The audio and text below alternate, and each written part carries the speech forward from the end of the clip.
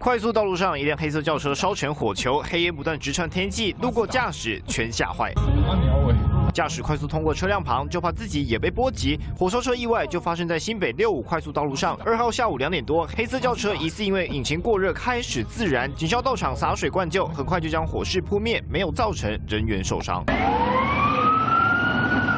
在国道一号林口段，一辆小货车发生车祸意外，小货车驾驶疑似没注意前方车况，不慎撞击到前方连接车，造成车头几乎凹陷，看不出原本车体形状，驾驶一度受困车内。警消获报后，立刻到场救援。警消出动破坏工具，将车头凹陷处奋力一拉，最后才成功救出驾驶。但他眼角血迹斑斑，幸好送医后并无大碍。整起车祸的发生原因还有待警方进一步调查厘清。记者经纬中林传有涛新北采访报道。